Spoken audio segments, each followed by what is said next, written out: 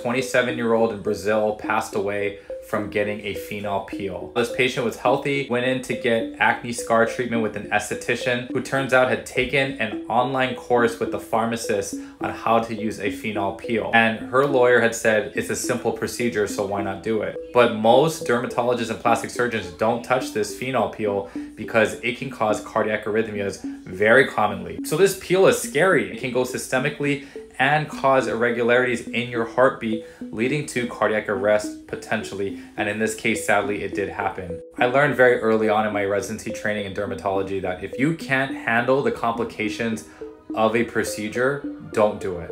Many times we have to deal with the complications from other providers or injectors who don't know the correct anatomy and they definitely don't know how to manage complications.